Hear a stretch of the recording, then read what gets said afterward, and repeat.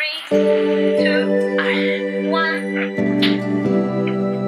Well, well, hello. Welcome to the PsycheNautics Show for the day 86. 87 and 87 for Laura. Yes, indeed. We are about to finish, and we fought very properly to do an adventure yesterday that we are gonna share uh, online. And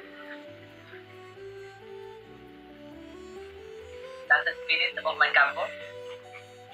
We just came thinking about thinking about it, yes.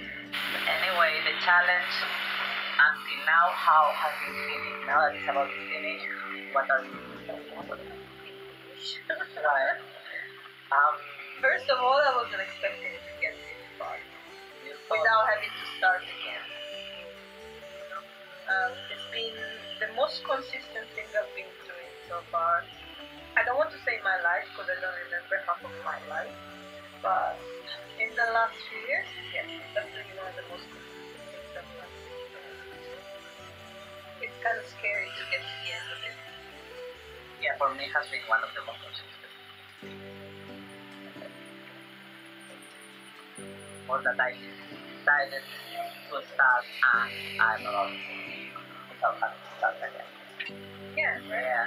That's the thing. I have to say that maybe if we had done the challenge on winter, it had been much more easy to do sometimes for me because this summer, like, I've been working a lot and with the challenge, like having to do a post every night or like 30 minutes Oh, meditation you properly. How about the conscious walking that cold? I don't know if it would have been easier. It would have been another kind of. It would have been another kind of challenge. Yeah. Maybe we can do winter challenge and summer challenge next year. Yesterday we did an adventure and today we are speaking about our impressions on this 87, 86 day of challenge. For me, like, I've been feeling very relaxed. Like, I don't know, like, not relaxed, no, no, I don't think relaxed lately, but my mind hasn't been relaxed, but I don't know, like, I feel kind of in control of the vehicle now. It's like going to the gym. The more Yeah. you exercise your mind to do a certain kind of job, the more you condition yourself to flow with it. Yeah, I feel that the spiritual flow or the magic flow now it flows every day in me because I'm doing this meditation and as well the writing. Writing is very powerful. To write, to make shape, to make a, make like something like a concept that you grasp and you can touch and you can understand better because it has the shape of the world. And that's very magical and very powerful. And by training that, every human being more power, more control. If you know yourself Of better your mind, because you're yeah. studying yourself, then of course you have more control. It's about that. Self knowledge for me, mostly self acceptance, a bit of self forgiveness too. That's the thing that helped me when that helped me go through the second part of the summer, which wasn't as thrilling, but it was. Um, good to open my mind about uh, who I am a little bit more, to understand better where I stand when things happen to me and not be only passive about it. I would say it was very good. Good training, extremely good training because I feel stronger than before. Yeah, me too. Like I just, I want to keep doing meditation and definitely writing having books. But I'm relieved that I'm not gonna have the obligation to not pay. Like I'm gonna, I'm gonna be happy to play again. Or Uh, for me, no, it's the opposite. yeah, I feel scared not to have something uh, that I have to complete by the, by the end of the day. Give me a good, uh, I can get you. good fuel to go on. I can give you gasoline. Another thing, when you put something like a goal for yourself and you're doing it for yourself instead of for other people, it's something that I am enjoying now. I discover this pleasure more now than I had before. So it's more self. Uh,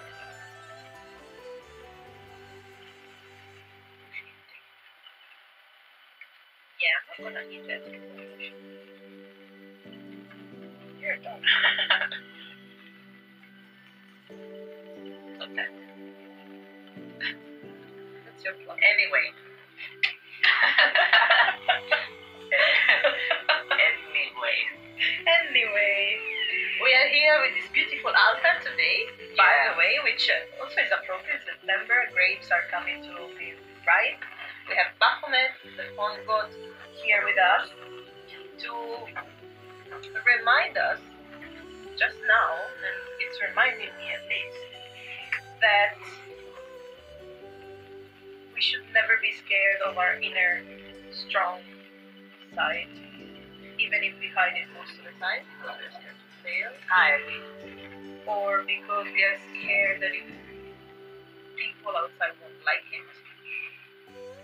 That doesn't mean be nasty as much as you like because it doesn't matter what people think. It means don't be um, Don't play weak when you are strong. don't blame yourself if you feel certain things. Like, because if you feel them, you have your own good reasons, and there is nothing to be ashamed of.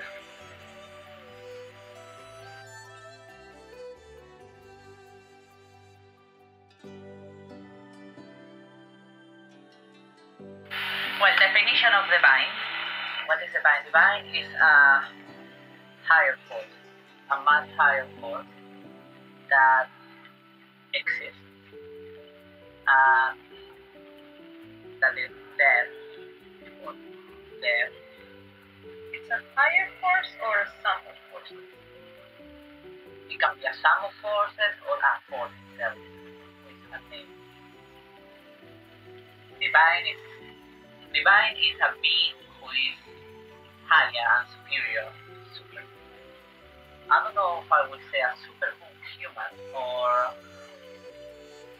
something like a like you know like a symbol like a symbol of something. A primordial force of something. An aspect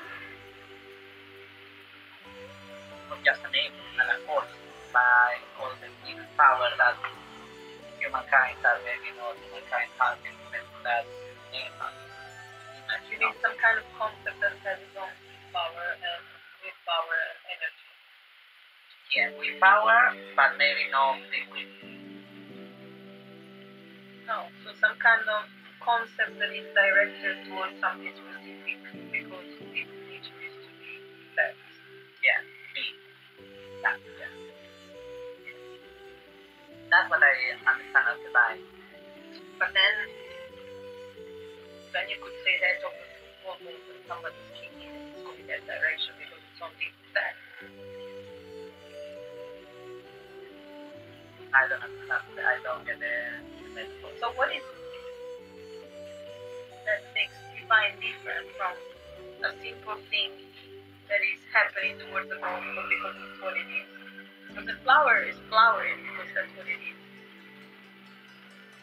Would we define the flower as divine or part of the divine concept?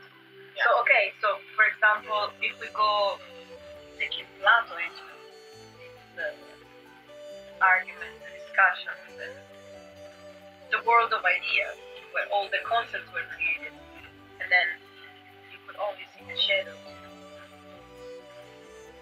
So we always see the shadows, but we never see the actual concept. So that would be the divine, Yeah. according to Plato.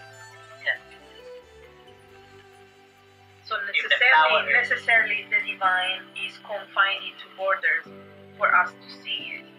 We are unable to perceive the whole thing Yeah, the as human beings. borders as a, as a little thing, like a little object.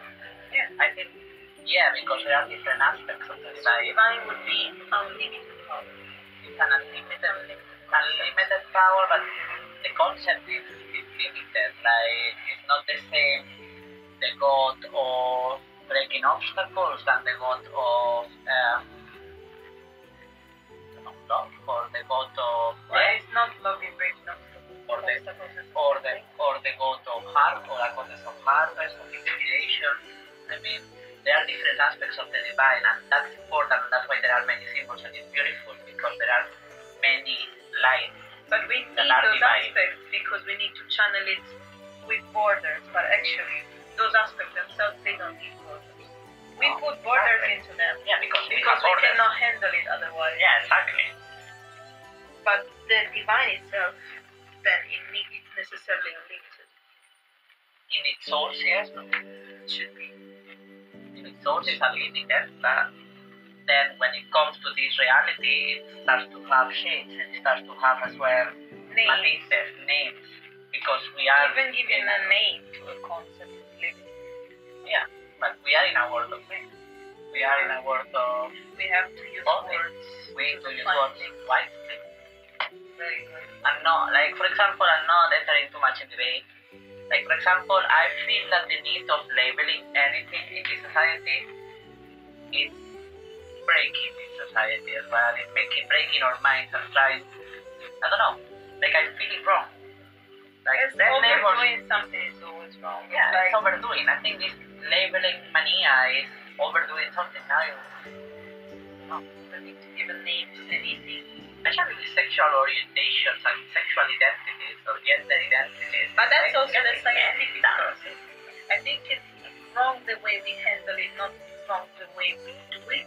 Because that's Yeah. the scientific process of knowing what you're doing. You're phrasing it and you're giving definitions. But by giving definition, then you also have to have a reference and then you have to apply that measurement so that you can Coming, put things Yeah. in the world, like whatever. But coming back to the definition, yes, like for example, I feel that as well uh, easy definition, like an easy way to, to put in words this definition, it's saying that something divine is always that to according to you yourself and your power and your energy level, how you are, is something that is clearly higher than you. That for you, from your point of view, is something divine. Isn't it? I suppose. As I say, I think it's very much scientific. If divine was studied in a scientific way, which we cannot do because science based itself on empiric Oh, things, no, empirical I- things that can be measured. We don't have the tools to measure I think we do. yet. Mm, well, we are trying to build them, Yeah, I think we but there are no instruments personal that experience. science as it is would accept and validate. Well, dogma science. Science is observation, and observing personal and subjective experiences is science because it's observing. Stop to denying personal experience as something that you can quantify because we have voices for something and we can write for something, and that those words and those experiences have a value. Because if we start to deny things because oh because we start to use these labels that we put all together to uh, benefit, no, benefit. But that was the whole point. I don't think that is science, that is dogma. Sì, esattamente.